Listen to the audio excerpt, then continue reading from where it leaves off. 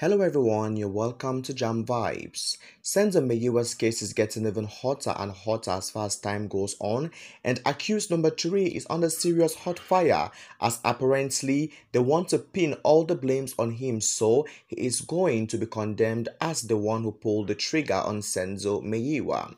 SAPS gun expert kills accused number 3's hope of freedom. Before I give you all more details, kindly follow Jam Vibes, like this video and drop a comment after watching the entire video please. Of course, in the very last court proceedings, the investigation into Senzo Meyiwa's tragic departure from this world continued and Mr. Mangena's evidence was a big part of it. His story was mostly about a gun he got, which was important to the probe in the Cleveland case.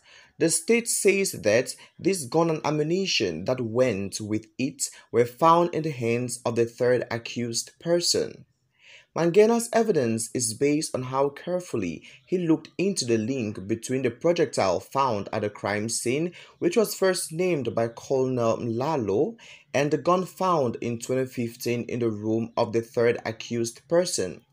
In his statement, Mangena focused on how the general characteristics of the bullet and the gun were the same, but he also pointed out that there were some differences between the individual characteristics. Mangena decided that more tests that were more thorough were needed because of these flaws. Mangena talked about the time frame and said that he was given an opened, sealed back on July 20th, 2020. When he looked at what was inside, he saw that there was a CZ gun and ammo to go with it. This find it very important to the investigation because it connects the crime scene to the accused person's home. Mr. Mangena's careful and thorough method shows how serious he is about finding out what happened to Senzo Meyiwa and why he died so young. As this testimony goes on, the complex web of evidence and analysis becomes clearer, shedding light on the complicated relationship between the forensic result and the court case. As the trial goes on still, the picture should become clearer, putting an end to a case that has drawn attention from all over the country and the world at large.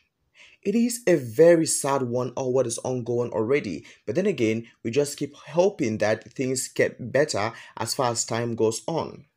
Right now, SAPS Mangena has resumed also revealing his findings from the inquiry into the murder of Senzo Meyiwa, which began already some days ago.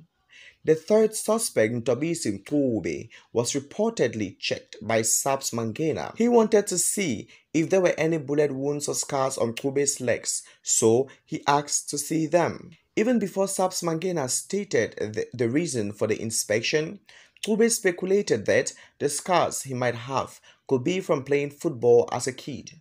The coincidence fueled speculation that Mncube was somehow involved in the crime. However, no bullet fragment scars were found on the third suspect, hence bringing in more and more trouble and discontinuity in this particular case already. So much has been ongoing. Kelly Khumalo's name has been dragged. Senzo Meyiwa's family's names as well have even been dragged on the media. That is just to tell each and every one of you how intensified the whole case is.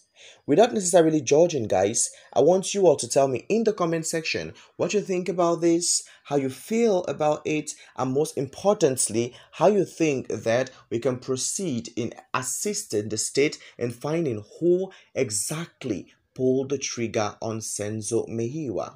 His family has been grieving for so long and they deserve the truth. I love you all and take good care of yourselves, please.